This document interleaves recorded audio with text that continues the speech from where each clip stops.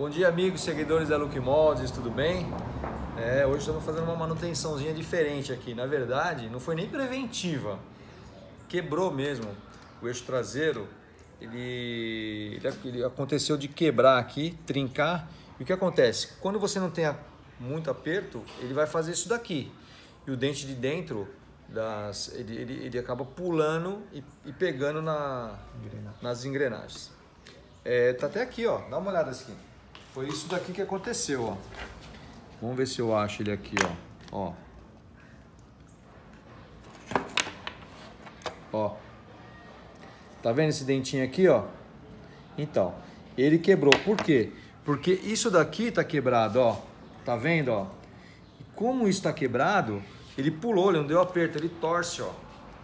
E aí essa engrenagemzinha comeu e acabar com o resto.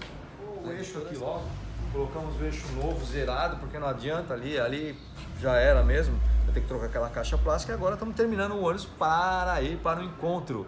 Beleza, galera? É isso aí. Obrigado aí. Siga a gente no nosso canal do YouTube, se inscreva lá, siga a gente nas redes sociais, no Instagram é, e siga também a turma do trecho. Beleza? Valeu, galera!